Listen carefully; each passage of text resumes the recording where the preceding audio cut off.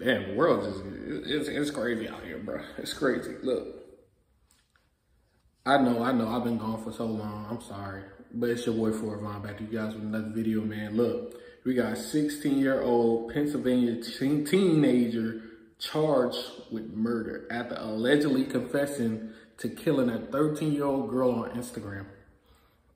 That's crazy. So According to a report, investigators received a call about possible homicide. The caller told them her daughter had gotten an Instagram video call from a 16-year-old acquaintance later identified as Joshua Cooper. During the chat, Cooper allegedly said he had killed somebody and showed a person's legs and feet covered in blood.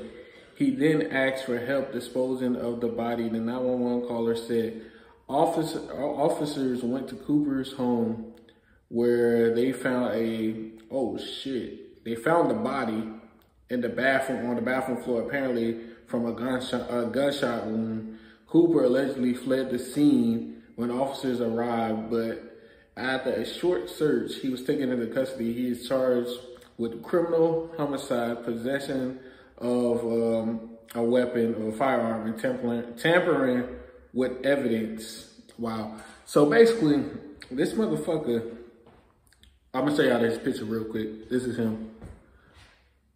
It looks, he looks like a girl. I'm assuming that's why he's uh, transgender. So I apologize to the LGBTQ plus community watching this, but uh, he's gonna have a hard time in jail. I'm not gonna lie to you, bro. But he killed a 13 year old a girl. So apparently, this motherfucker right here killed a 13 year old girl, right? Killed her called a friend on Instagram or a follower. They not they said he's an acquaintance.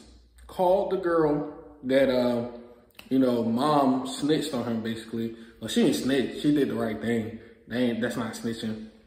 But he called the girl. The girl mom heard the conversation and seen the um the you know the conversation going on.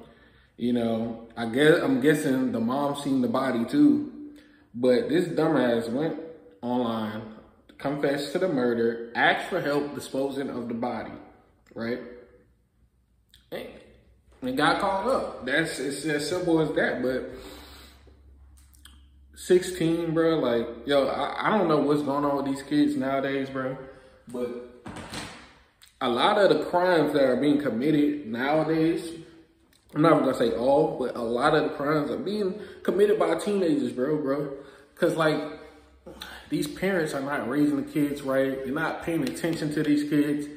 They feel like, oh, if I give my kid a phone, the phone will raise them and take care of them and whatnot. And then your kids see them like, being exposed to a lot of things online, like murder, fucking drugs, crime, fucking, look at the TV shows we got now. It's like, it's like a lot of teenage shows with sex, drugs, and murder and whatnot.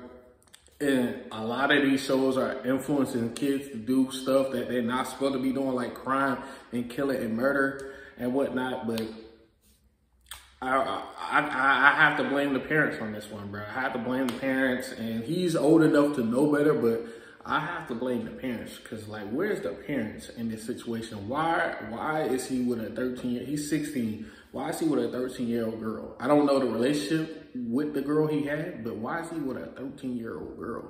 That's the question, bro. When I was 16, I wasn't with 13 year old girls. I was with girls my age.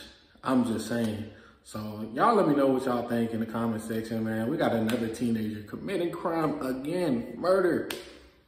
It's been boy Fort Von. Like, comment, subscribe, all of that. Like for the algorithm, comment for the algorithm. I'm out.